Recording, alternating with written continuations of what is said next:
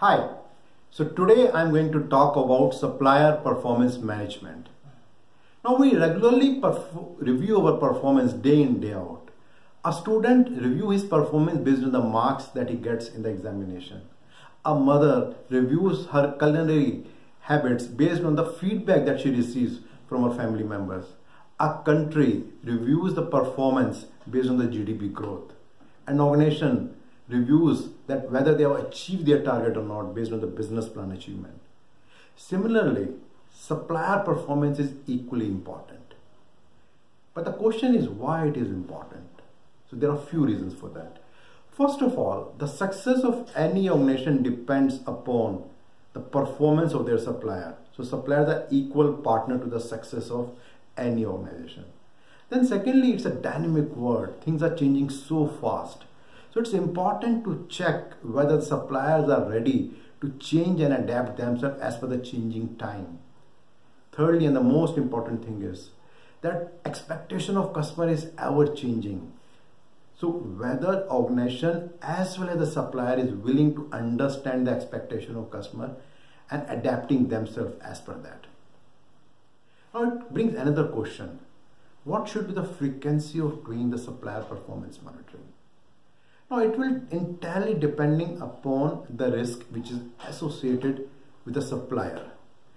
There can be a supplier who may be making a component which is not impacting the quality of organization.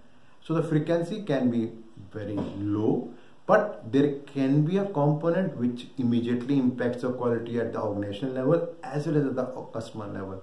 So the frequency should be more about that. Then it also depends upon the previous performance of the supplier if there is consistent quality problem or delivery problem. So the frequency should be more with respect to supplier performance monitoring. If you talk about ISO 9001, they don't specify any requirement with respect to supplier performance monitoring that what are the criteria on which we have to do. But as per clause number 8.4, IATF 16949 clearly specifies six key characteristics which needs to be monitored minimum. It can be more but cannot be less. So let me go through all the six characteristics. The first one is product performance. Second one is delivery performance. The third one is occurrences of premium freight. The fourth one is customer disruption. The fifth one is customer notification with respect to quality and delivery.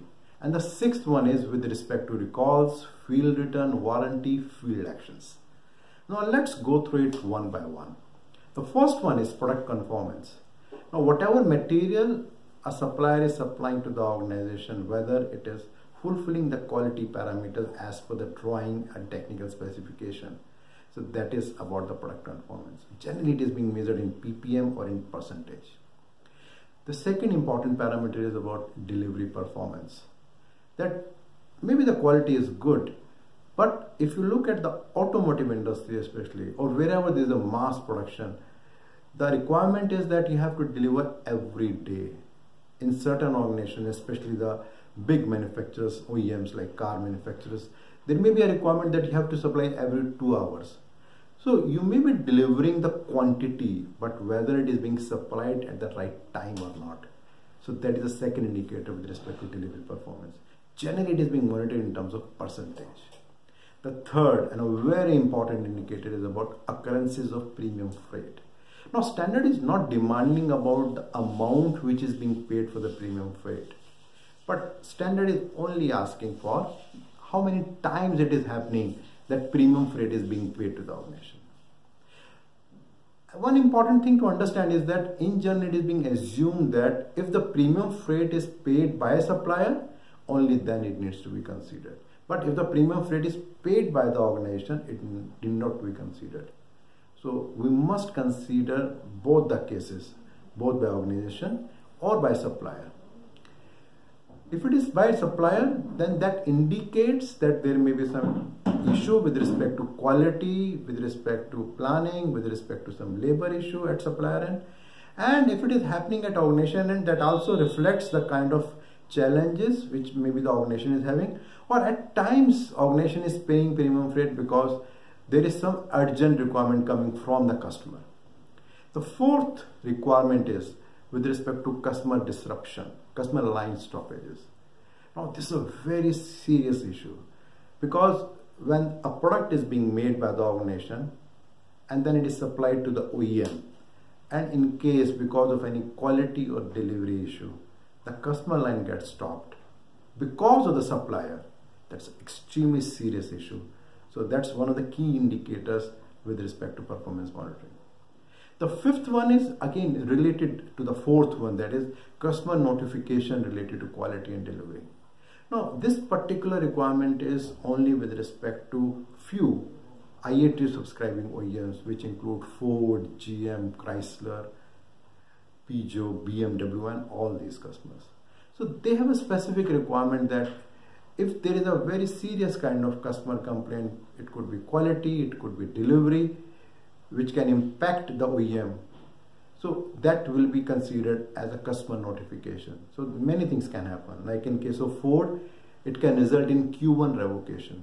In case of other customers, it can relate result in new business hold or maybe the immediate suspension of the certification that is IATF 16949 now that brings the last requirement that some cases which happens once the product is delivered to the consumer. It may result in warranty in case there is a quality issue.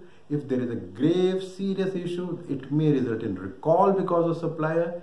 There may be a requirement that we need to do some kind of segregation or reworking at consumer end or at dealer end because of the supplier. So all those cases will also be considered in performance rating. Now, one thing which is very important that I've discussed with you about all the six indicators, but how much the organization or the top management is giving importance to the performance rating. So let me raise few questions in front of you. How often it happens that the top management actually reviews the performance of the supplier who are actually considered to be the equal partner? How often it happens that the supplier rating is being calculated but it is not being shared with the supplier. And thirdly, even if it is being shared, do the management demands the action plan that what they have done with respect to that rating? And fourth, the most important one is, do we have a different criteria of supplier performance monitoring depending upon the risk that organization is having or not?